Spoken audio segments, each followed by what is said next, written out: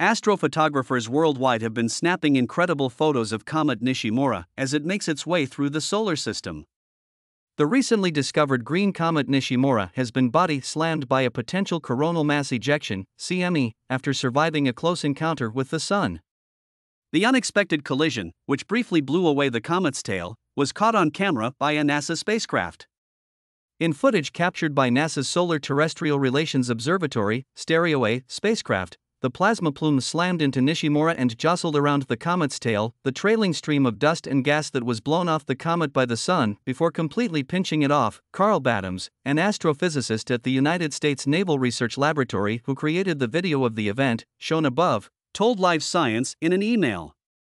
Comet Nishimura, also known as C/2023 P1, was first spotted falling rapidly toward the sun on August 12 by amateur Japanese astronomer Hideo Nishimura. Its steep trajectory initially hinted that it could be an interstellar object, like Oumuamua or Comet 2I Borisov, that would leave the solar system after its slingshot around the Sun. However, follow up observations revealed that the comet originated from the Oort cloud, a reservoir of comets and other icy objects beyond the orbit of Neptune, and has a highly elliptical orbit that brings it into the inner solar system roughly every 430 years.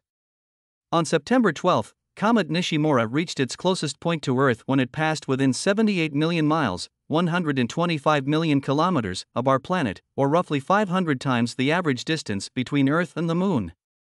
In the days leading up to this, the comet became clearly visible near the horizon shortly before sunrise and shortly after sunset, which led to some stunning photos of the icy object streaking across the night sky.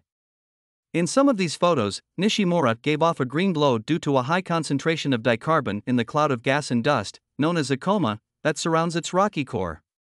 On September 17, the comet reached its minimum distance from the Sun, known as perihelion, as it slingshot around our home star at a distance of 20.5 million miles, 33 million kilometers. This type of close encounter can often cause comets to burn up and break apart. But astronomers soon discovered that Nishimura had survived the superheated, G maneuver. As Nishimura began to fly away from the sun, it passed in front of Stereo-A, which kept a close eye on the escaping comet.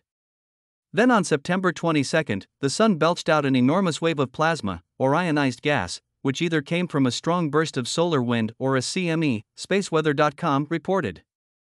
The CME blasted off the comet's tail in what's called a disconnection event. The effect is only temporary and entirely harmless for the comet, Battams said. After a disconnection event, a comet's tail will regrow as more dust and gas is blown from the comet. This is not the first time Nishimura has lost its tail. Earlier in September, a pair of CMEs slammed into the comet, causing at least one disconnection event, Live Science's sister site Space.com reported. But despite being constantly bombarded by the sun, the comet has been surprisingly well behaved and remains on its original trajectory, Battams said. For most people, the comet is unlikely to become visible to the naked eye again before heading back into the Oort cloud. But, unless it randomly breaks apart over the next few weeks and months, which is possible, it seems there's a decent chance that folks a few centuries from now will get to enjoy it again next time it swings through the neighborhood, Battams said.